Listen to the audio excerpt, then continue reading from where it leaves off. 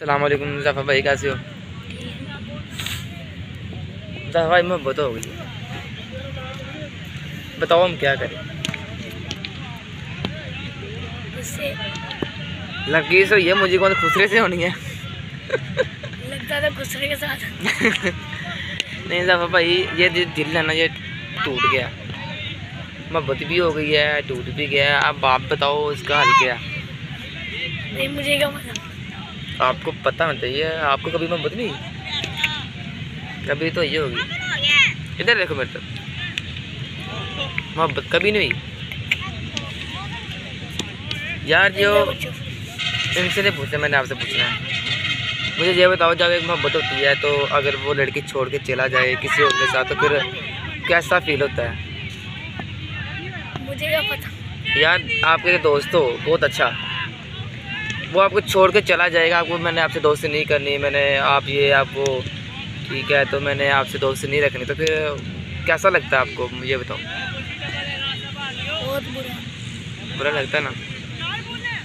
तो दिल में क्या फील करते हो? क्या क्या सोचते हो? क्या महसूस करते हो? बताओ। बताओ ना।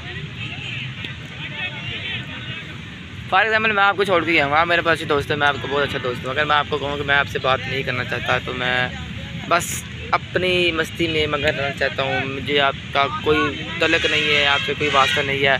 फिर आप क्या सोचोगे दिल में? ये लड़का क्या क्या सोचोगे? ये बताओ।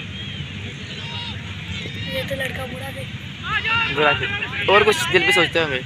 कोई गाली वाली देते होंगे? तो कुछ और। फाइनली मतलब के अच्छे अल्फाजों में गाली वाली नहीं। तो अच्छे अल्फाजों में क्या कहोगे? उस लड़के के लिए क्या मतलब के मुँह एक्सप्रेशन क्या होंगे? अल्फाज के क्या अल्फाज कहोगे?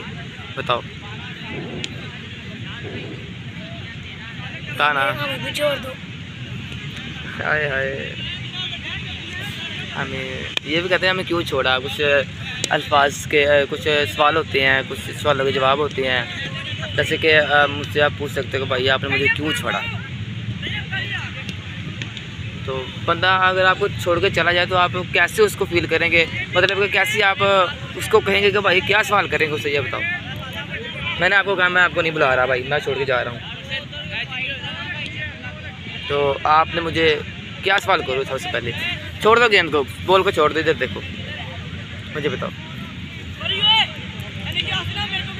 चलो बताओ। हाँ? नहीं बताना।